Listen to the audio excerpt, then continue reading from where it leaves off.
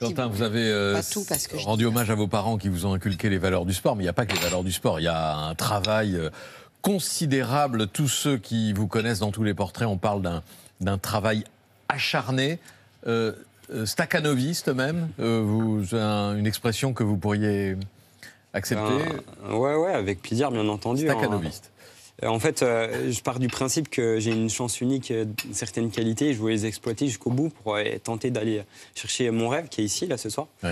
Et, euh, Donc combien d'entraînements par semaine? Ben, euh, 14, euh, peut-être 14. plus des fois, ouais. 14 heures? 14, heures- 14, 14 14 entraînements. entraînements. 14 Deux par jour. Ouais, en général, ouais, on a deux, deux entraînements par jour. On en fait un peu moins l'hiver parce que on a trois courses par semaine, plus les déplacements, donc c'est assez intense. Mais euh, du coup, c'est la préparation qui, qui sert de, de foncier pour, euh, pour tout l'hiver. Et là, on en fait beaucoup plus que, euh, que l'hiver. On s'entraîne en, en ski roue, c'est des espèces de, de rollers Ouais.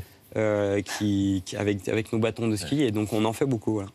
Avec le mental en plus, si je vous dis le Morbac, On ne choisit pas ses surnoms. J'ai le surnom aussi de, de, de cannibale. Donc, euh, oui, alors, ce qui signifie, c'est assez, euh, c'est Vous assez avez sympa, toujours mais- faim, quoi, c'est ça. et, et Morbac parce que... euh, Ben, en fait, on, Vous, euh, on a ouais, dit- il vous suit, quoi. Il, s'accroche. On ne décroche jamais. c'est ça. On a la même idée du c'est Morbac. hein. c'est Simon Fourcade qui m'a donné ce surnom. J'avais dit que je me vengeais. À chaque fois, je, je loupe des belles occasions. J'aurais pu faire quelque chose. Et il paraît que pour le, pour le mental, pour le côté Morbac, donc vous avez fait appel au GIGN, c'est vrai?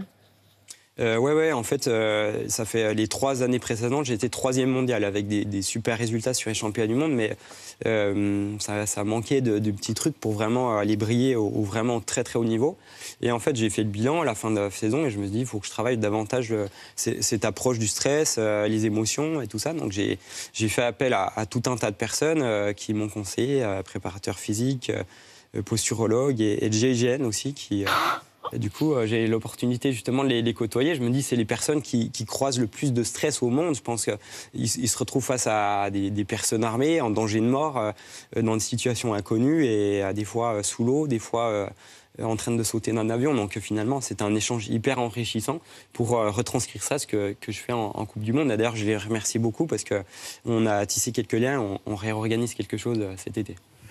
J'aime bien la façon dont vos parents, votre mère et votre père racontent comment ils vous ont observé depuis tout petit et ils ont regardé vos, vos dons sportifs et, même là où vous n'étiez pas forcément doué euh, avant d'arriver au biathlon que vous avez découvert devant la télé en 2002. Les débuts racontés par vos parents. Étant petit, on l'a mis au rugby.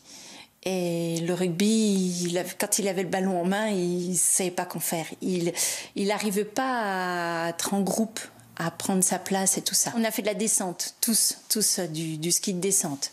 Donc euh, ça, c'était la priorité pour leur apprendre, pour apprendre la vitesse, euh, l'équilibre et puis pas avoir peur. Un jour, on s'est mis un peu au ski de fond euh, et les résultats allaient plus ou moins bien, mais il se faisait plaisir. euh, il gagnait une course ou deux, des petites courses par-ci par-là. Il n'a jamais été le, le meilleur, loin de là même. Et sur certaines courses, il se des, des bonnes tôles, on va dire. hein.